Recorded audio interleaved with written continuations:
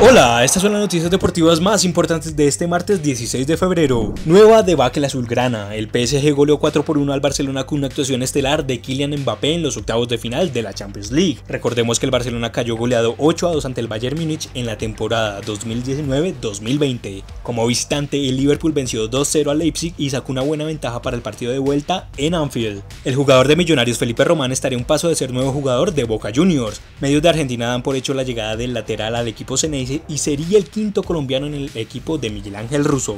Ancelotti confirmó que James Rodríguez no sufrió ninguna lesión ante el Fulham y está convocado para enfrentar al Manchester City de Pep Guardiola. Y finalmente David Alaba confirmó su salida del Bayern Múnich y aunque no confirmó su destino, la prensa de Europa ya especula con su llegada al Real Madrid de Zinedine Zidane.